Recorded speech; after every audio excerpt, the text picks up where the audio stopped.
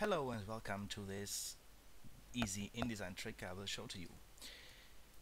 Today I will show you how to make the page number and the section markers easily and beautifully float over the layout. So everything that is on the actual spread will go behind the master page elements. So of course the page number and the section markers on the master page and the layout is behind that.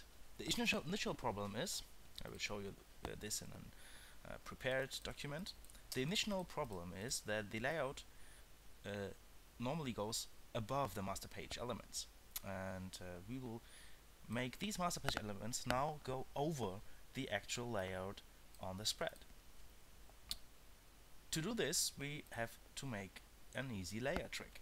And we will see that this brown colored uh, background is on the layer called Ebene 1 because I'm using a German InDesign version. And uh, the master page elements which we can see here are also on this layer. They are blue uh, also for this logo. So to fix this these master page elements have to go on a layer above the actual spread layer. So I created a new layer. I will name this pagination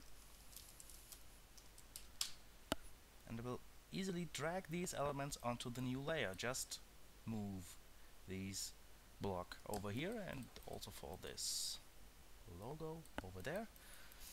Now they are red because they are on the red pagination layer. I will and I will lock this layer that we will not layout on this accident accidentally and I will go back to my spread. And now we can see the layout go going behind the actual master page items items. This is because they are on a separate layer and the layer is above the layer used on the spread. So you can do this when I move the layers around everything else changes. So for this and this. So this is easily and beautifully arranged, just an easy trick with layers. Thanks for watching.